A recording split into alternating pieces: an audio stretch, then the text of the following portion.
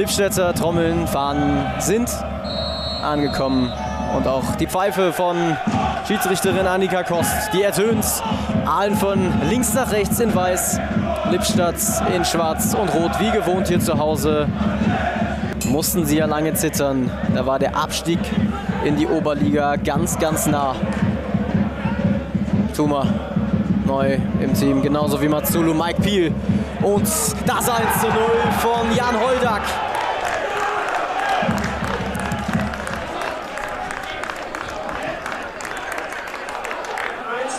Muss Jan Holdak nur noch einschieben. Fußball kann so einfach sein. Und ich habe es eben noch gesagt, Aalen macht einen sehr wachen Eindruck von Beginn an, stellt vorne zu. Mit der ersten Aktion von Matsudo schon ein sehr guter Angriff gelungen. Wieder über die linke Seite. Ball bleibt im Spiel, die Fahne bleibt unten, zweiter Pfosten. Da ist der Ball und der ist drin.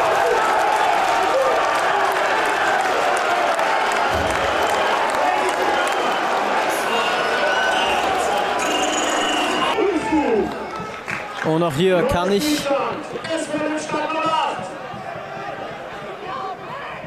meinen Satz aus Hälfte 1 nur noch wiederholen und kopieren und Steuerung V drücken.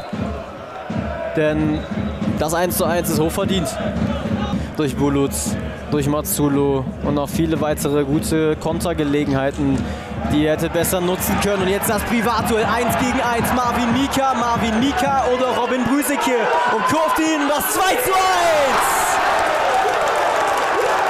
Es braucht nur zwei Minuten, um dieses Spiel in der Liebels Arena zu drehen. Und da gehen die Pyros an.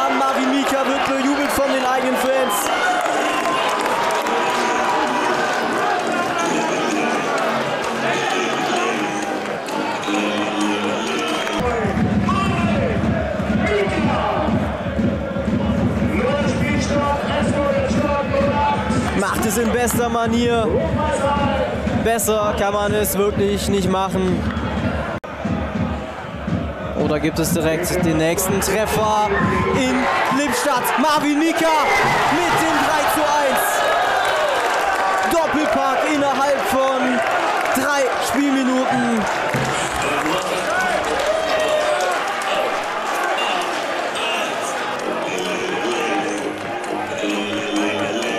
Es kommt immer dicker. Gerade dreimal gewechselt, Andreas Zimmermann, und da musste er den nächsten Gegentreffer hinnehmen. Also Oberhausen bleibt auf der linken Seite. Düren stößt an in den weißen Trikots von rechts nach links. Ja, wenn sie es so machen, dann verschieben sie die Dürener natürlich gleich mit und ab durch die Mitte, da ist es eng, aber das hat vorne auch schon mal geklappt und es klappt wieder und das ist das 1-0 für RWO. Sven Kreier durch die Mitte. Hat er super vorbereitet. Statt über die Seiten kommen sie durch die Mitte. Doppelpass mit Mickels und Kreier zieht mit dem rechten Fuß ab. Sein siebtes Saisontor schon. Sven Kreier, die Tormaschine bei RWO. Das dritte Ligaspiel in Folge, in dem er einnetzt. 1 zu 0 für RWO. Nach dem Pokalspiel auch in der Liga wieder da und seine Freischüsse sind gefürchtet und da ist das 2 zu 0 für RWO. Anton Heinz mit Ansage. Super Freistoß. So kann man sich nach Rotsperre in der Liga mal zurückmelden. Klasse. Tyson kann nur hinterher gucken. Und nach Kreier mit seinem siebten Saisontor legt auch Heinz nach sein sechster Treffer in dieser Spielzeit. Auf die beiden ist auch heute wieder Verlass in Oberhausen. Becker jetzt in der Defensive bei Düren. Muss hier auch wieder hinterherjagen, muss die Mitte sichern, kommt da nicht an den Ball. Kreier kann er abschließen. Ja! Und da ist das frühe 3 zu 0 für RWO. Nicht mal eine Minute war gespielt in der zweiten Halbzeit am zehnten Spieltag. Das kann sich sehen lassen. Vorbereitet von Heinz. Auch er mit viel Platz. die beiden Torschützen zum 1 zu 0 und 2 zu 0 hier im Zusammenspiel. Das ging flott nach dem Seitenwechsel. Das RWO hier die Führung ausbaut. Lunga wäre da gewesen. Jetzt kommt die Flanke auf der anderen Seite von Mickels. RWO immer noch am Ball. Boah, da wird fleißig gezogen, aber Vorteil. Und den Vorteil nutzen sie. Die Oberhausener 4 zu 0 nach 56 Minuten. Fassner sieht da auf der linken Seite ist Mickels, wird gezogen von Omar Basic, ist egal. Und toller Kopfball von Christian Merz. Der wieder in die Startelf rückt im Vergleich zum Pokalspiel.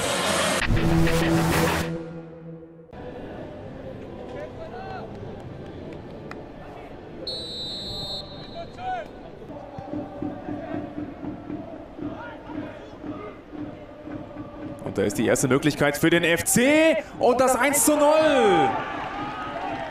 durch Maximilian Schmid. Die erste Chance und das erste Tor. Maxi Schmid chippt ihn wunderbar über Kilian Neufeld. Wir gucken nochmal drauf. Hier kommt der Steckpass. Und das geht sehr, sehr leicht. Aber den Abschluss, der ist fantastisch. Von Maximilian Schmid, dem Neuen, werden nicht wirklich gestört im Spielaufbau. Die beiden Kölner Innenverteidiger. Da haben wir Strauch. Da ist Notbeck. Da ist wahnsinnig viel Platz. Die nächste Möglichkeit für die Kölner. Und Maximilian Schmid ist wieder zur Stelle. Ah, das geht wahnsinnig leicht. Zweite Chance, zweites Tor.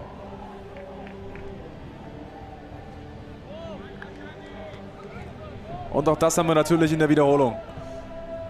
Strauch im Zentrum ist dann viel Platz. Gar kein Gegnerdruck und auch Schmid hat auf der linken Seite vorne nicht wirklich einen Gegenspieler, der ihm am Abschluss hindert. Und schon steht es hier 2 zu 0 nach nicht mal. Ansonsten ist nicht viel weiteres passiert. Das ist eine tolle Aktion und das ist der Anschluss für die SG Wattenscheid. Was für eine tolle Ballmitnahme.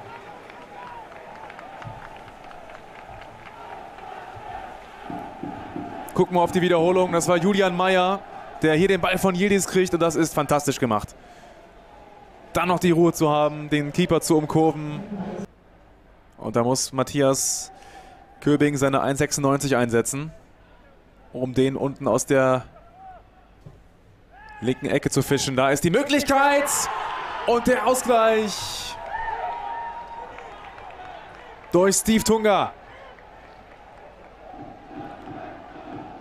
Die Gäste sind wieder voll im Spiel. Gucken wir drauf. Gab den Einwurf. Einmal verlängert. Und Tunga mit links. Trocken. Keine Chance, sage ich da, für Matthias Köbing.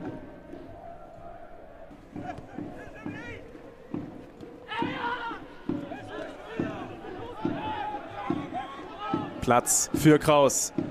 Mit dem Außenriss die Chance und das 3 zu 2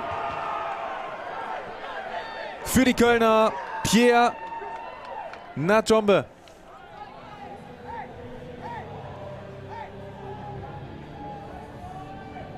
Der Joker sticht.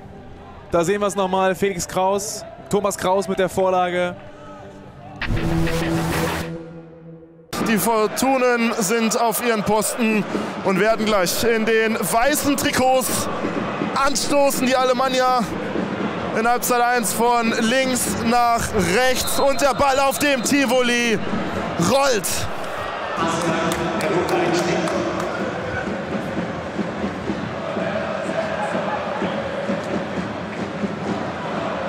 Sörner, Schwermann, Schwermann, der noch abgefälscht zu Bayritsch, 1-0 Alemannia Aachen.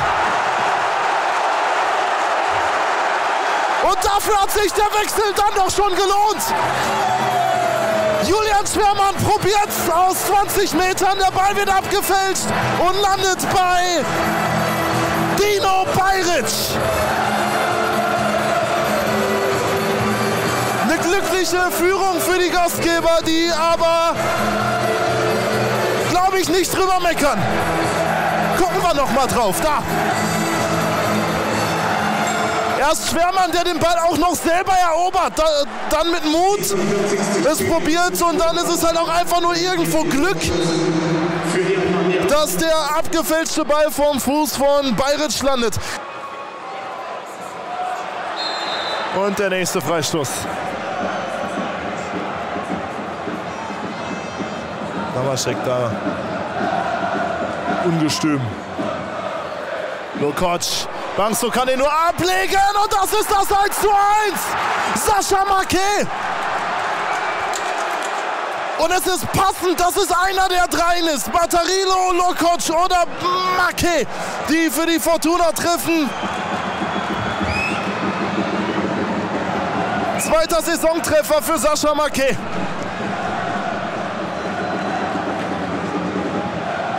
Wir jetzt gleich gern nochmal die Wiederholung an ob auch ein Lokoc noch dran war. Okay, da haben wir erstmal die Flanke von Mike Kegel. Lokoc nicht mehr dran, aber so entscheidend, dass er da noch reinspringt, dass Bangsto eben irgendwie nur noch die Hand reinstellen kann, den Körper. Und der Abpraller landet dann direkt beim Ex-Alemann. Mattarella.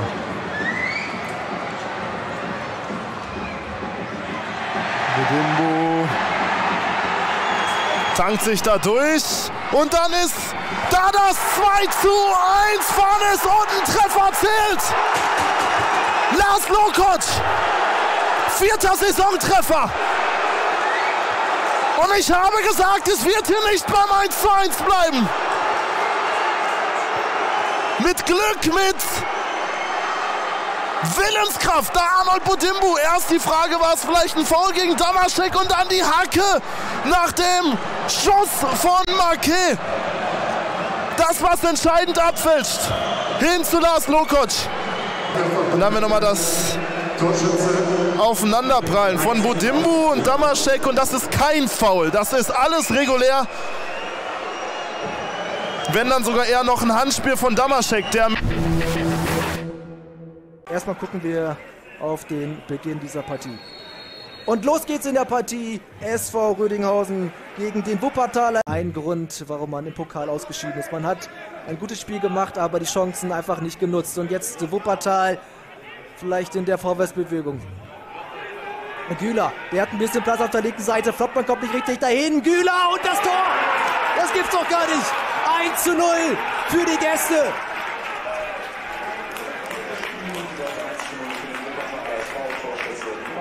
Was ein Start in diese Partie für den Wuppertaler SV. Über die linke Seite. Kuruba ist nicht auf seiner Position und STV sah da auch nicht ganz so gut aus. Kein Abseits, zeigt der Schiedsrichter an. Bravo Sanchez war selbst sehr irritiert und jetzt die Möglichkeit. Und das 1 zu 1. Jetzt trifft er. Jetzt trifft er endlich. Aber jetzt müssen wir noch mal auf die Möglichkeit schauen. Flanke von Rima auf Baseta und im dritten Anlauf trifft er hier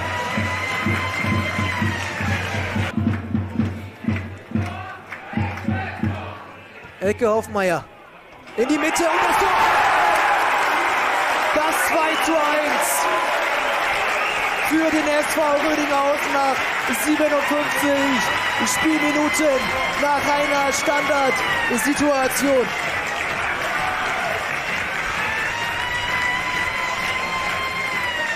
Und wenn ich richtig gesehen habe,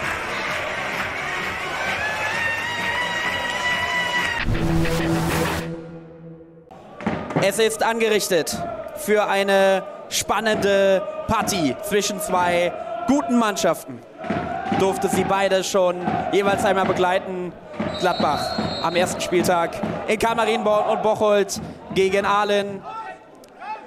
Die Partie läuft. Gladbach in grün von links nach rechts, die Gäste aus Bocholt. in schwarz von rechts nach links. André Bugler hatte ja das 1 zu 0 gegen Alemannia Aachen gemacht mit einem schönen Drehschuss. Erstmal schauen wir auf Assalari. Kuschtrim, Assalari. Erste richtig gute Chance. Noch nicht zu Ende. Und dann ist der Ball im Tor. 1 zu 0 für die Borussia. Und das war, na klar, wer denn eigentlich sonst? Semir Telanovic. Und das ist der Riesenfehler, der nicht passieren darf. Telalovic und 2 zu 0. Steffen Meuer, 22. Spielminute. Erst haben sie die Gladbacher auseinandergespielt und dann schießen sie sich selber ins Knie mit so einem Fehler. Das darf nicht passieren gegen so eine starke Mannschaft.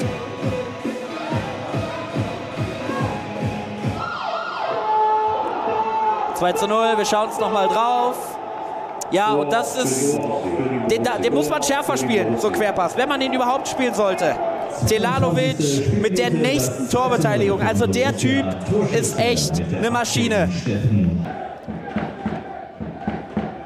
Faisolau, Bugler. Obst. Und jetzt muss er mal mit links den Ball bringen. Obst. Gut gemacht. Chance. 1 zu 2. Malek Fakro. Da habe ich ihn eben noch als Phantom bezichtigt. Und dann macht er das Tor.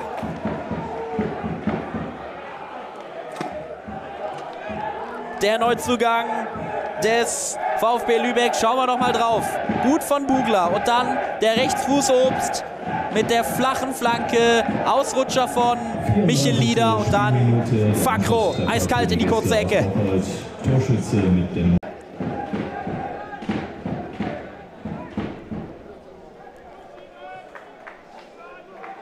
Beckert Super gesehen. Die Lücken sind da. Die Chance ist da. Und das 2-2. André Bugler, 42. Minute. Und die Gladbacher passen mal so gar nicht auf in der Defensive. Das ging ja viel zu einfach. 42. Minute. Und soll ich euch was sagen? Das ist verdient. Das ist verdient. Schauen wir noch mal drauf. Der Pass von Beckert. Dann läuft da. Beckhoff ist es, glaube ich, nicht mit. Najjar macht seinen ersten großen Fehler des Spiels. Und dann muss Brüll rauskommen. Ist dann chancenlos. Und Bocholt holt hier ein 0 zu 2 auf. Locke. Scharfer Ball. Der kommt an. Große Chance und jetzt muss er ablegen und das ist das Tor. 3 zu 2. Kuschrim, Assalari, 84. Minute.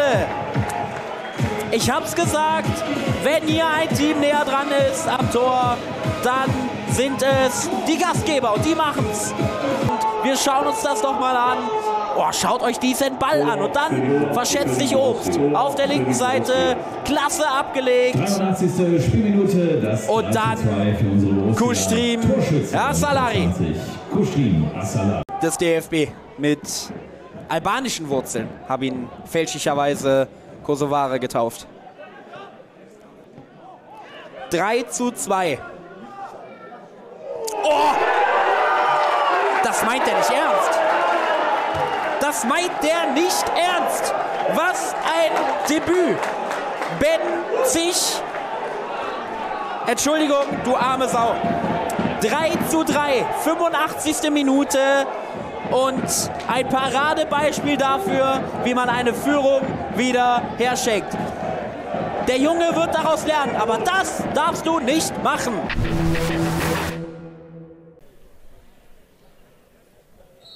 So, auf geht's. Kahn Marienborn in Rot von rechts nach links, die Fortun in Weiß von links nach rechts. Jetzt der Freistoß. Schröder. Guter Ball. Und der ist drin. Schröder mit der Freistoßflanke. Korsten ist da. Köpft den Ball ein. Klasse Freistoß, klasse Kopfball. 1 zu 0 für die Fortuna. Und das hatte sich ein bisschen angedeutet in den letzten Minuten. Wie gesagt, ein klasse Freistoß hier von Schröder. Bringt den da ins Zentrum an den Elfmeterpunkt und Korsten. Klasse, klasse Kopfball. 17. Spielminute. Führung für die Gäste.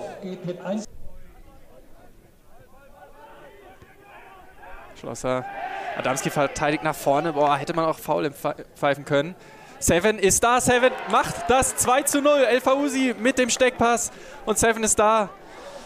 Ja, da ärgern sich die Kellner natürlich. Kiere wird da von Adamski angegangen, der einfach wach ist, der im Zweikampf da ist, sich den Ball schnappt. Und wir gucken nochmal drauf. Gute Ballannahme da von Seven, dann bleibt er eiskalt. Mit rechts angenommen, mit rechts abgeschlossen. El Fauzi. Fauzi versucht dann Niemetz anzuspielen und der wird gefährlich. Niemetz hat die riesen Chance und er macht das 3 zu 0. Das gibt's doch nicht. Da kommen die Kellner so gut aus der Halbzeitpause raus. Und dann schlägt Fortuna wiederum eiskalt zu. Und das ist ganz, ganz bitter für Julian Schauerte auf Seiten der Kähner, der hier einen unglücklichen Kontakt hat. Wir werden es gleich in der Zeitlupe nochmal sehen. Elfa Usi mit dem Pass und dann Schauerte fälscht das Ding ab. Und dann Jemjet tunnelt Jendrusch im Tor. Unglücklich sieht er dann natürlich aus, der Keeper, aber ich möchte ihm da keinen Vorwurf machen. So wurde es zum Torschuss. Und die nächste Ecke kommt direkt. Schauerte Gibt ihn nochmal rechts raus. Schelt probiert es direkt. Und er kommt gut und er ist drin. Schelt hat den Ball, der kommt perfekt angerollt für seinen starken Linken. Schauerte spielt den Ball raus und dann wird er lang und länger und landet im langen Eck.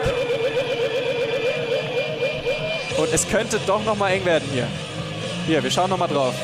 Schauerte, irgendwie spielt er den da rechts raus und dann ist Schelt da und schlänzt den ganz einfach da ins lange Eck. Und ich denke, das wollte er genau so machen. So, und hier ist jetzt natürlich noch mal deutlich mehr Pfeffer drin als vor fünf Minuten noch.